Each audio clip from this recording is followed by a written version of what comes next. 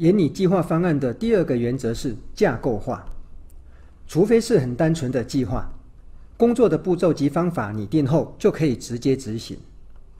一般的计划建议要将工作项目架构化，以利于分工合作。最常见的方法就是用 WBS 工作结构分解法来拆解及划分工作的项目。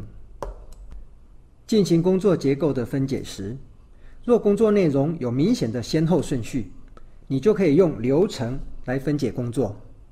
举例来说，如果你是银行的 ATM 设计师，如何设计出能让客户顺利领到钱的操作流程呢？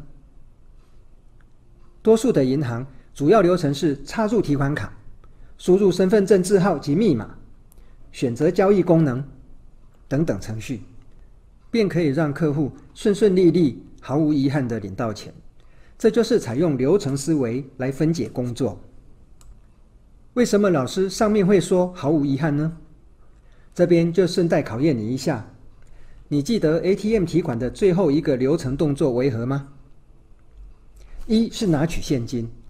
二是抽出提款卡，三是取回交易凭条。你的答案是哪一个呢？是拿取现金、抽出提款卡，还是取回交易凭条？